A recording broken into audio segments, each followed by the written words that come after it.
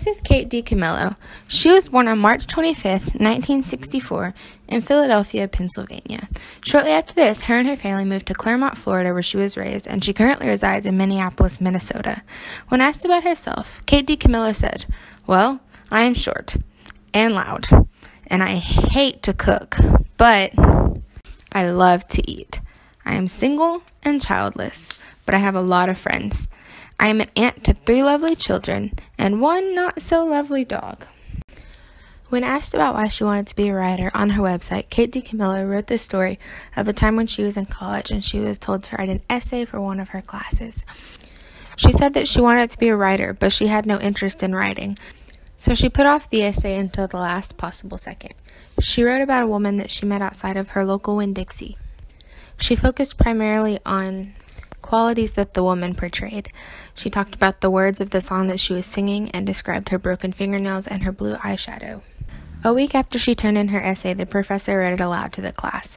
He said that her writing was extraordinary, and that what made it extraordinary was the person that wrote it took the time to see the person she was describing. That's what writing is all about seeing. It is the sacred duty of the writer to pay attention to the world.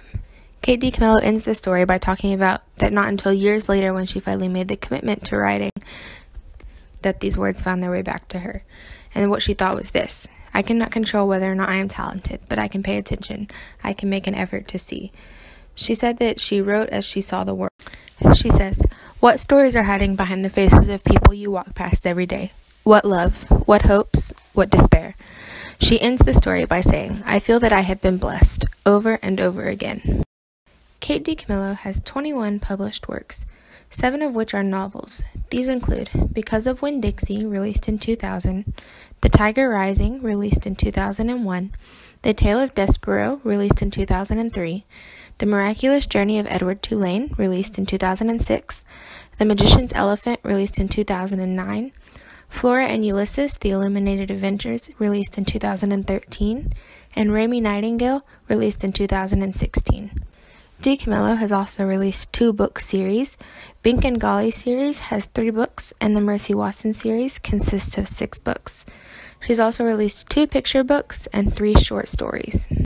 Kate DiCamillo is one of only six writers to win two of the Newbery Medals for the most distinguished contribution to American literature for children. She won this award in 2004 for her book The Tale of Despereaux, and again in 2014 for her book Flora and Ulysses.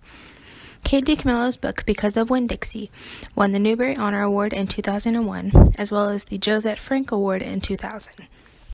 In 2006, DiCamillo won the Boston Globe Horn Book in the children's fiction category for The Miraculous Journey of Edward Tulane.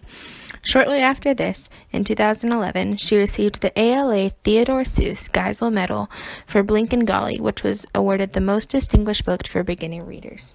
Kate DiCamillo has had two of her books made into movies.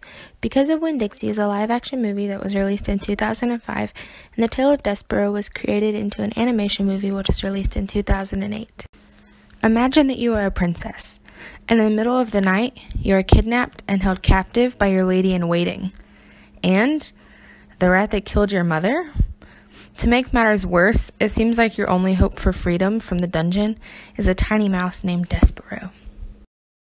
In this action filled book, we get to follow along with Despereaux, the rat Roscuro, and Miggery a lady in waiting, as they each talk of the princess and her importance to each of their stories. To figure out if Despereaux can save Princess Pea, you'll have to pick up a copy of the book for yourself.